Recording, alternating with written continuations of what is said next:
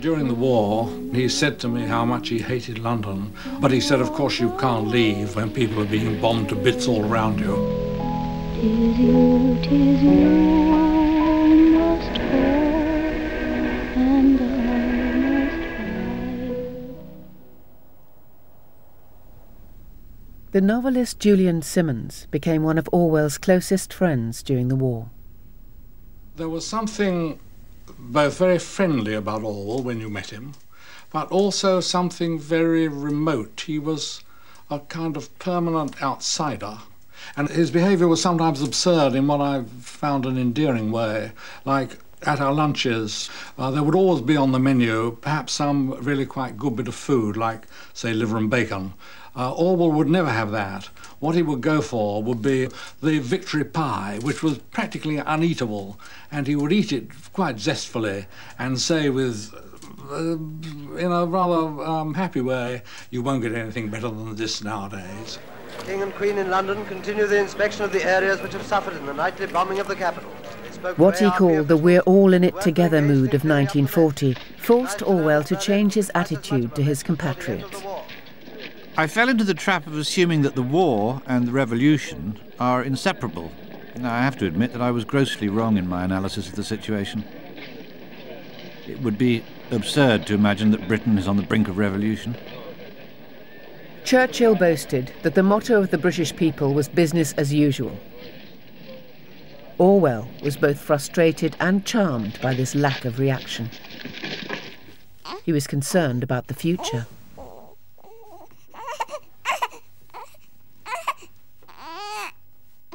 Life goes on much the same. In the face of terrifying dangers and golden political opportunities, people just keep on keeping on, in a sort of twilight sleep in which they are conscious of nothing but the daily round of work, family life, darts at the pub, exercising the dog, bringing home the supper, beer, etc., etc. And the Home Guard. It is so very typical of Britain that this vast organisation has had absolutely no conscious political development at all. It has not developed into the People's Army like the Spanish militias. It is held together by no political creed, but by inarticulate patriotism. The fact that more than two million men have rifles in their bedrooms, and the authorities contemplate this without dismay, is the sign of a stability unequalled by any other country in the world.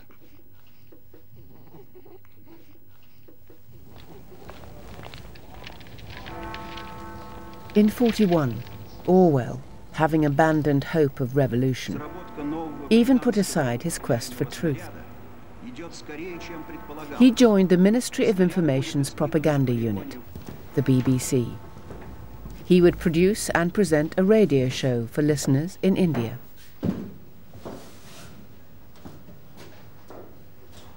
His BBC office was room 101.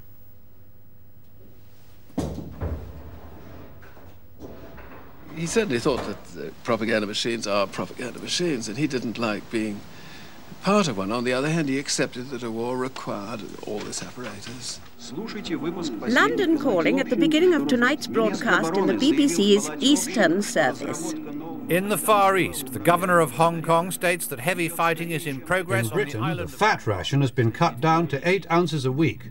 The ordinary people who have to put up with these restrictions do not grumble. is stabilized on any of the fronts. And in the Far East, the Japanese are still getting further advantages from their first treacherous surprise attack. By far the most important event during this week is the Anglo-Russian Treaty. I consider I kept our propaganda slightly less disgusting than it might otherwise have been, deodorized it to some small extent. But I felt I was just an orange that was being trodden on by a very dirty boot.